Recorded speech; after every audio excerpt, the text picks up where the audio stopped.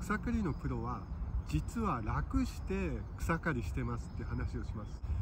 例えばまあ道具の面ね。こういうロングシャフト。これは3 0センチロングシャフトだしこちらは2 0センチロングシャフトっていうね、えー、道具も違います。まあ一般の方も使えます。もちろん。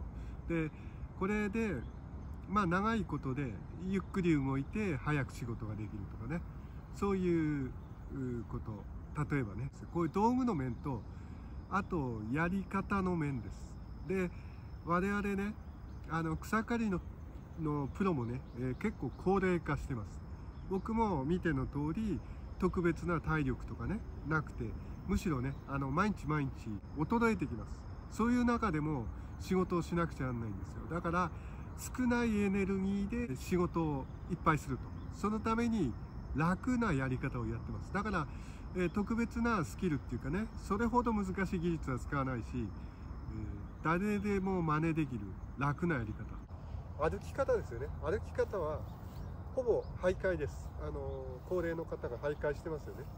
こういう感じで歩ってると思います。これね実はイースター島のモアイ像ってありますよね。石の石像ですあれね、えー、歩いて運ばれてきたっていう伝説があるんですけど実際実験されてなんかこの辺にロープをつけて人が引っ張ってねこういう何十トンもあるような石像をこういう歩かせるようにして運ぶことができるみたいです。だからあのエネルギーが少ないんですよ。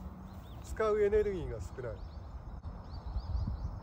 そもそもね歩く動作っていうのはそれほどエネルギー使わないんです。だけどさらに、石像のようにしてあのエネルギーを使わないでよりエネルギーを使わないで石像のようにイースター島のね石像のように進みます。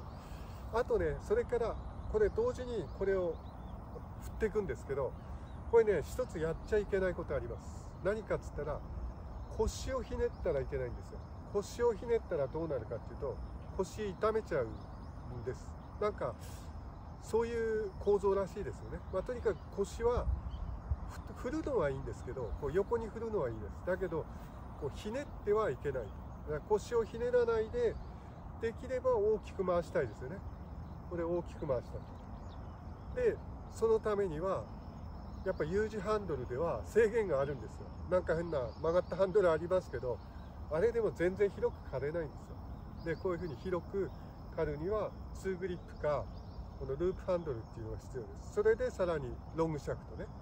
これで何割も速くできます。同じエネルギーで何割も速く。でこの振る動作は実はその石像のように歩く動作と同時に行うことでエネルギーを使わないで振ることができるんです。で、えー、さらにこちらへ戻す時ね。こちらへ戻す時はなんかマニュアルではこう一度持ち上げて戻すとかそういうことはしません。切りながら戻します。でこっちへ戻す時にキックバックが発生しやすいってことになってるんですよ。どうしてかっつったらこっち側を触っちゃうからね。右側が触っちゃうから。あの操作運転手から見て右側が触ってしまうからキックバック。チップ走の時なんかもね、え、キックバックが起きます。でここでキックバックが起きるとこっちへ飛んでいくんですよ。だからこっちへやっちゃいけないっていう説明もあります。だけどこっちに切ってきます。で右側上げればいいんですよね、えー、こうやれば分かりやすいかな。この右側を上げることでキックバックなしでこう戻るんです。あとねそれからちょっとこれ最初に言うべきだったんですけどこの歯のねこう横から見た時この角度水平に大体なってると思います。これで、ね、標準的な標準シャフトだとちょっと難しいです。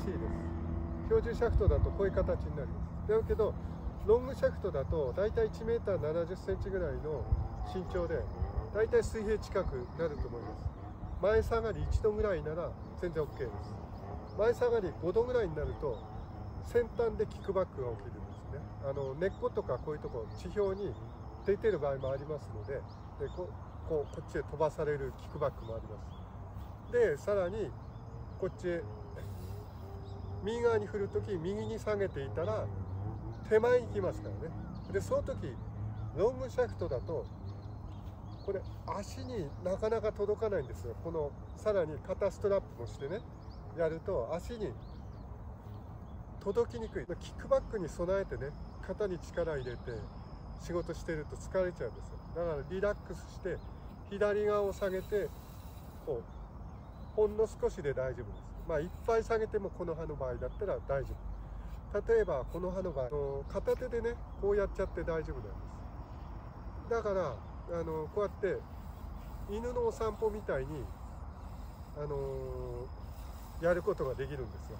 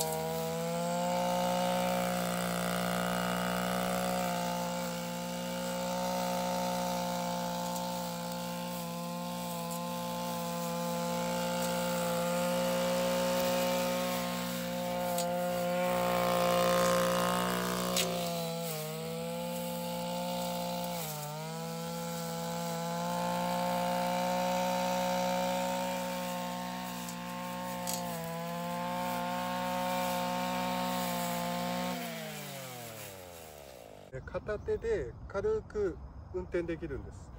で実際はねこうやって振っていくわけですけどででこれのメリットっていうのはこっち振った時ここまでしか来ませんけど先端ね。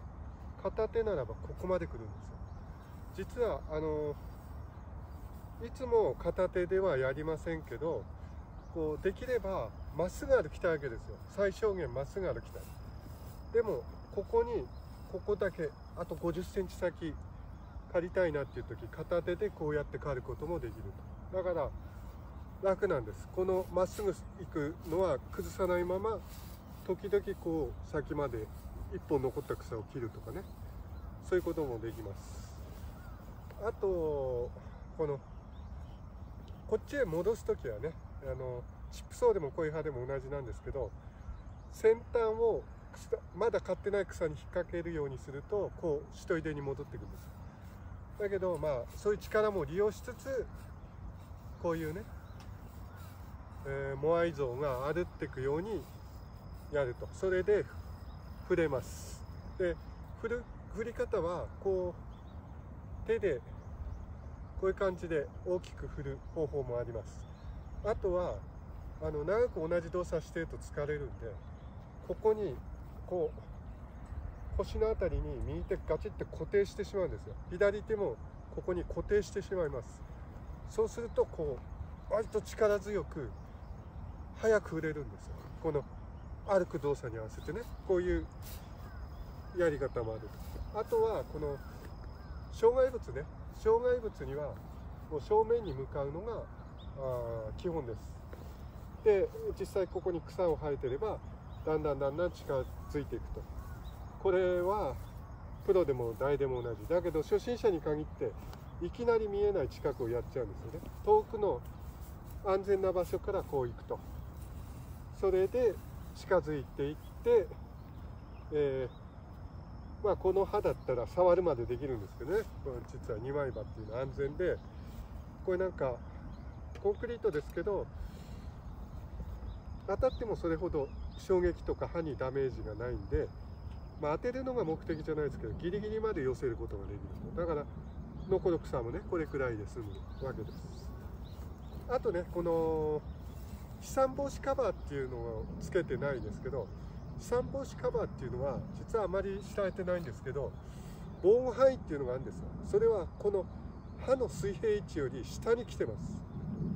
で、えー、飛散物も膝下ですね。膝下ぐらいのを防ぐものです。でどういうものが飛んでくるかっていうとチップ層の場合ねこのぐらいの握り拳ぐらいの木片とかここの辺で突き刺さるんですよ。この辺で切りますからね。でかなりの確率でこの辺で突き刺さったものが抜けてでスネの方へ飛んでくるんです。であとはこれでもそうですけどチップソーでもそうですけど番線みたいなものね針金を丸めたようなものが引っかかって飛んでくることがあります。で低いところへねあ足当たると痛いですけどこの長靴で結構いけちゃうんですよ。これ実は長靴ってゴム長って履いちゃダメなんですよ。ゴム長はあんまりいいことないっていうか全然いいことないと思うんですけどこれは実はここにプラスチックカップが入っててそこも強化されているタイプです。でこれだけの長さあるとその万が一ねそのここなんかはほとんどないんですけど針金とかあって常に飛んできた場合全然痛くないです。これで全然大丈夫、ね、ただ顔の方へ飛んでくるものは防ぐあれではないです。だから顔は顔でフェイスガードとあと専用のグラスね。このサングラスだとここ隙間大きいんですよ。だけどヘルメットに付属してたやつね。鼻ヘルメットであれば、例えばこう調節が効いて頬に当たるまでねこう近づけてかなり防ぐことができます。そうそういう方法でこれをつけるとつけないではえらい違いなんです。あとマニュアル的にはこのもそもそもね落ちているものを拾ってから石とか木片とか拾ってからやってくださいって書いてあるんです。実際は無理ですよねこんな広いとこね。で我々はどうしてるかって言ったらあの常用草刈り機で大体草を刈るんですよ。